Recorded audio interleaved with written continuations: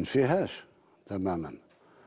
ولكن أعتقد أنها مرحلة ضرورية لأن التغيير بسرعة هكا ما عنده حتى معنى ما عدا أن نغيرش من أجل التغيير.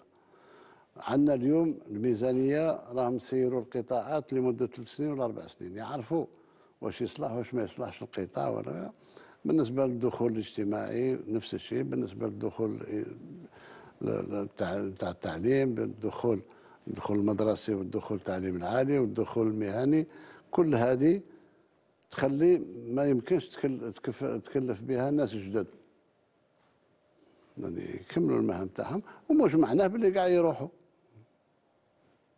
التغيير ما يكونش من أجل التغيير. أنا نلتزم بها.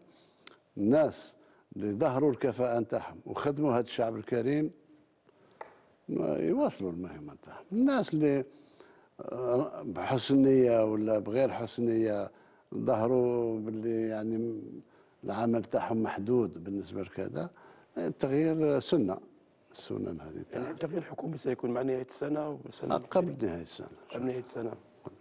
مجرد ما ما يتم النقاش ربما ولا حتى لما يتوضع قانون المالية في المجلس الشعبي الوطني نفكر في باش ننطلق انطلاقه جديده في 2025 ان شاء الله كوموندي اون فرونسي ديماري سور لو شابو درو